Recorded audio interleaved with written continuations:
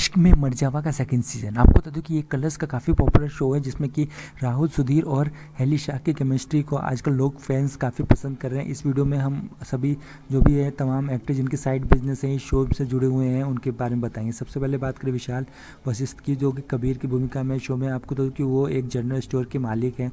काफ़ी अच्छा टैलेंट है, वो रियल लाइफ में काफ़ी पॉपुलर भी हैं, वो और उनकी केमिस्ट्री भी अहली शाह के शुरुआती दिनों में काफ़ी अच्छी दिख रही थी। मानसी श्रीवास्तव जो कि आना की भूमिका में थी शो में आपको वो भी एक जनरल बुक स्टोर की मालकिन है रियल लाइफ में ये उनका साइड बिज़नेस है, काफ़ी खूबसूरत भी है वो।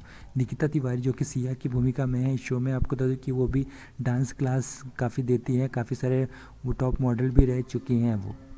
खालिदा जान जो कि अनुप्रिया की भूमिका में है शो में। आपको बता दूँ कि वो पेड एडवर्टीज़मेंट की कंपनी में काम करती हैं और काफ़ी पॉपुलर भी हैं, काफ़ी अच्छा काम भी कर रही हैं शो में। जैन इबाद खान।